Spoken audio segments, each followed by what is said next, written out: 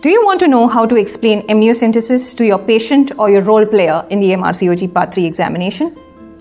Well, you tell her that this is a test that is done to know the genetic makeup of the baby. It is usually done by a fetal medicine specialist at a fetal medicine center.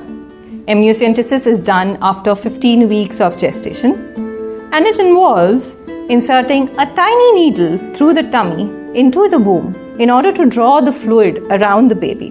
The cells in the fluid are used for genetic testing. This test is generally straightforward.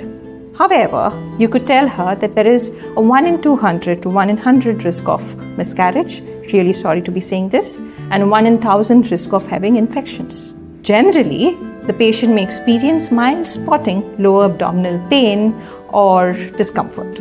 Also, do not forget to take an informed consent.